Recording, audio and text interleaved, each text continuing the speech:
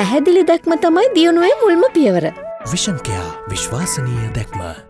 නාම යෝජනා තිය- තියෙනවා හැබැයි මේ යන ක්‍රමයත් එක්ක මම අපි තීරණය ගන්න නාම යෝජනා දුන්නත් මම තීරණයක් ගන්න අපි ඉල්ලනවද නැද්ද කියන එක මොකද මිනිස්සුන්ගේ ජීවිත මගේ ඡන්දයට වඩා වටිනවා. තාම අපි අස්සම් කළා නැහැ අද ඒක ඉවර කරලා දාලා අපි එක්සත් ජාතික පක්ෂය හැටියට හැම දිස්ත්‍රික්කෙම ලයිස්තුව ලෑස්ති කරලා අපි තියෙනවා අද රාට තීරණයක් ගන්නවා බාර දෙනවද කියලා බාර දුන්නොත් අපි ඡන්දේ ඉදිරිපත් වෙනවද කියන එකත් මම හිතන්නේ රනිල් වික්‍රමසිංහ මහත්තයා මිනිස්සුන්ගේ ජීවිත විනාශ කරලා පාර්ලිමේන්තුවට එන්න හදන පුද්ගලයෙක් කියලා. මොකද අපිට ඡන්දයකට වඩා මිනිස්සු ජීවිත වටිනේ.